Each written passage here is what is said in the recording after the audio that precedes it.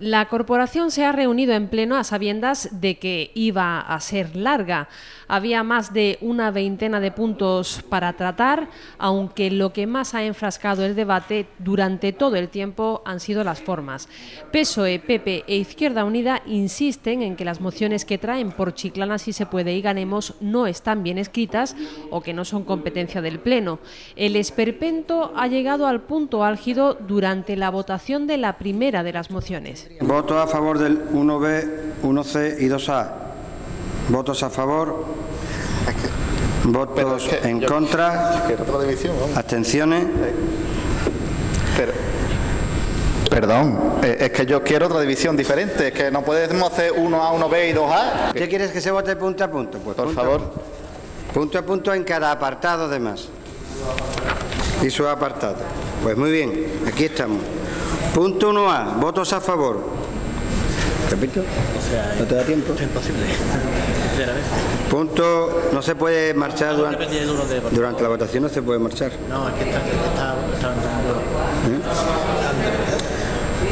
Punto 1D. Aún separando las votaciones de los puntos y los subpuntos, todos han salido adelante por mayoría simple.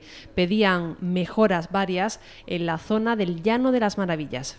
Los vecinos se han movido, si la gente tiene voluntad de cambiar las cosas, lo que pasa es que somos muchas veces las instituciones las que les bloqueamos, porque estamos encorsetados. Y eso es importante señalarlo aquí ahora, por eso estos debates, aunque después, bueno, que el debate interesante tiene sus limitaciones el pleno y tal, pero lo importante es hacer ver a la gente que muchas veces, por desgracia, lo que se nos impone por ley, por la situación económica, es que nos tenemos que dedicar a gestionar la miseria. Partido Popular e Izquierda Unida han estado de acuerdo en pedir al alcalde socialista una reunión entre portavoces para acordar qué temas y cómo se pueden debatir durante el Pleno. De acuerdo, en cualquier caso prefiero que haya debate a que no se produzca. De hecho, todos los grupos políticos han debatido varias mociones en la sesión de hoy. De Izquierda Unida destaca la que pedía implantar medidas para garantizar suministros básicos como luz y agua a personas en riesgo de exclusión social hay que tener un poco de hay que tener un poco de cabeza, saber en qué sitio está cada uno y qué es lo que se defiende, porque si precisamente desde arriba los partidos que pueden arreglarlo no hicieran las cosas que hacen, aquí abajo seguramente no tuviéramos que estar dedicándole dinero de nuestros impuestos a ayudar a familias, porque serían las propias familias las que pudieran pagar esta factura si no nos estuvieran robando como nos están robando con el consentimiento de lo que lo están consintiendo. El Grupo Municipal Popular también ha logrado el respaldo del resto de la corporación para aprobar la apertura de las salas de estudio en la Casa Braque durante las 24 horas de cara a los exámenes de septiembre y también para instalar planos en braille que faciliten la movilidad de las personas con discapacidad visual.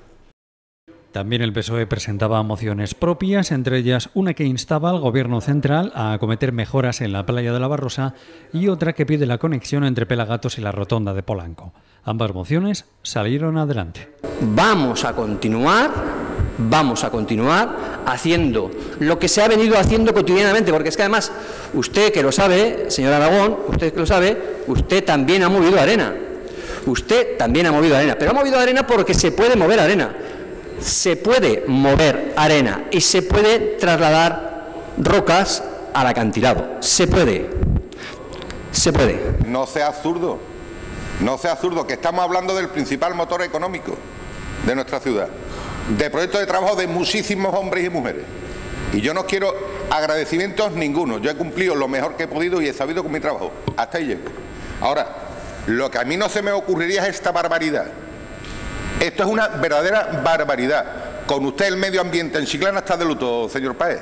El concejal de Ganemos convenció al resto de la oposición para que apoyara la moción que presentaba su grupo sobre la ejecución del plan de movilidad urbana sostenible. Yo no soy de hablar, soy más de hacer y de proponer.